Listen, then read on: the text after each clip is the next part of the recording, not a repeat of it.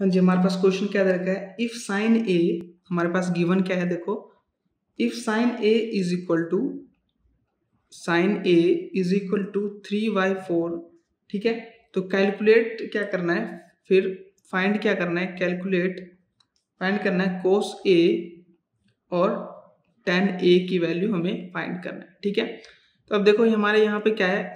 अगर मैं देखो, पंडित बद्री प्रसाद का रूल यूज़ करूँ, पंडित बद्री प्रसाद हर हर बोले। ठीक है? ठीक है तो यहाँ से देखो, ये ये क्या होता है? साइन की वैल्यू कोस की वैल्यू और ये टेन की वैल्यू। यानी कि हमारा साइन की बोला है तो सबसे पहले साइन देख लो यहाँ से कि साइन क्या होता है? परपेंडिकुलर अपॉन में क्या होता है? हाइपोटेन्यूज होता है। परपेंडिकुलर अपॉन में हाइपोटेन्यूज यानी कि कि देखो सॉल्यूशन में कि जो हमारा साइन ए यानी कि हमारा ये साइन ए यानी थ्री बाई फोर यानी कि ये क्या होगा? परपेंडिकुलर अपॉन में हाइपोटेन्यूज ठीक है? यानी कि परपेंडिकुलर कितना है? थ्री है और हाइपोटेन्यूज कितना है? फोर है, ठीक है? अगर हमारा ये, अगर हमारा क्या होगा ये हमारा क्या होगा परपेंडिकुलर हो गया, यानी कि हमारा ये, यानी कि हमारा ये इसका, देखो, अगर ये हमारा, अगर मैं इसको एंगल ए मान लेता हूँ एंगल ए बी सी यानी कि अगर मैं अगर इसको एंगल ए मानता हूँ, इसका अगर ये साइन ए ये इसकी वैल्यू तो यानी कि इसके अपोजिट ये वाला, यानी कि ये परपेंडिकुलर है। ठीक है? यानी कि हमारा ये कितना हो गया थ्री ये हाइपोटेन्यूज है फोर यानी कि हमारा ये क्या है? बेस ठीक है? अब यानी कि इस बेस की वैल्यू मैं फाइंड कर सकता हूँ। ठीक है? बाय पैथागोरस थ्योरम से। ठीक है?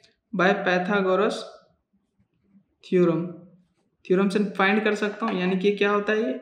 H square is equal to base square plus में परपेंडिकुलर स्क्र ठीक है?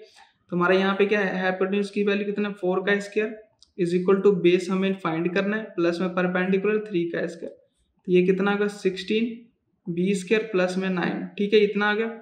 ये हमारा कितना आ गया? फिर sixteen minus nine is equal to base का स्क्र ये सिक्सटीन में से नाइन गया तो कितना हो जाएगा? Seven is equal to B square मैं अब यहाँ पे क्या करूँगा? रूट ले लूँगा दोनों साइड तो हमारा ये रूट सेवन ये कट जाएगा, तुम्हारा बेस यानी कि हमारा कितना आ गया? बेस कितना आ गया रूट सेवन। यानी कि मैं बोल सकता हूँ कि जो हमारा ए बी की वैल्यू आया है, यानी कि ए बी की वैल्यू आया वो कितना आ गया?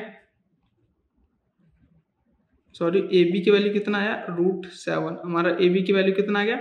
Root seven centimetre. अब देखो यहाँ की हमारा तीनों आ गया और हमें फाइंड क्या करना है? हमें फाइंड करना है कोस ए कोस ए की वैल्यू कितना होगा फिर? कोस ए की वैल्यू कितना होगा? कोस अब देखो कॉस की वैल्यू क्या होता है? बेस अपॉन में हाइपोटेन्यूज तो बेस अपॉन में हाइपोटेन्यूज तो हमारा बेस कितना है?